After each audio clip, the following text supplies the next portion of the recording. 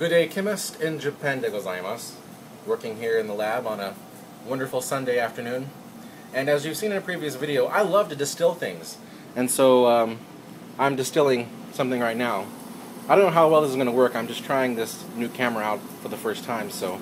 But um, we'll see what it, what it looks like. But yeah, I love distilling things because I have to distill them before I can use them. So today I'm distilling a very high boiling uh, amine. It's uh, NN-dimethyl aniline, actually. And so um, I'm distilling it for a reaction. So here it is. Today this one's running at uh, 205 degrees C. It's rather hot. The, uh, the oil there probably doesn't like this so much, but what can you do? But that's what it is inside.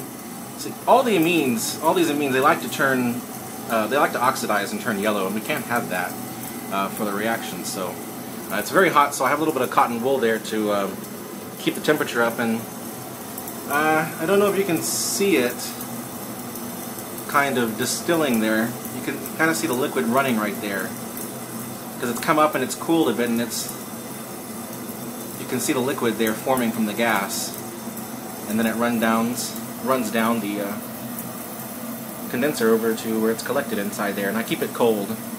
The melting point of dimethyl aniline is 2 degrees C, which is uh, which means the ice water is cold enough to freeze it. And I don't know if you can't see it really inside there. You can see it dripping inside. You can see liquid moving back and forth because of the gas pressure right there. But yeah. So Another wonderful distillation. Yeah, you can see that you definitely see the gas there condensing to the liquid.